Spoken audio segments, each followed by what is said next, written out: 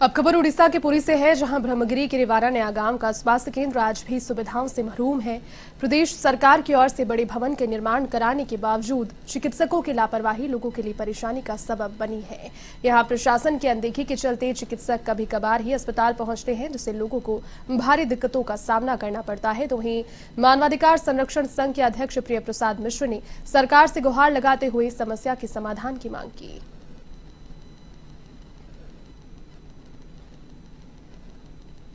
जी देखिए, ये community health centre है गोष्ठी स्वास्थ्य केंद्र इसको बताया जाता है।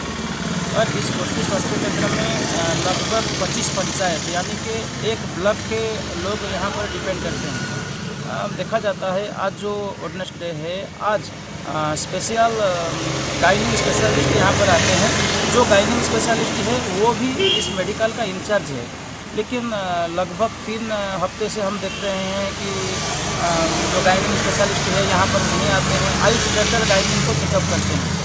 और इसके अलावा, और जो छोटे छोटे डिमांड है पेशेंट का, जैसे देखिए किसको सांप ने दांस लिया हो, जो निम्नतम चिकित्सा होता है, यहाँ पर नहीं मिलते हैं।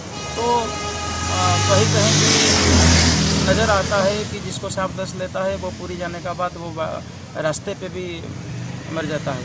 तो इसीलिए हम प्रशासन से ये निवेदन करेंगे कि जो सर्वनिम्न आवश्यकता है हम सब लोगों की, वो यहाँ पर तुरंत चालू किया जाए और स्पेशल जो गाइनिंग है गाइनिंग का जो सिस्टम है गाइनिंग का जो यहाँ प्रॉब्लम है, यहाँ पर पूरी यहाँ से लगभग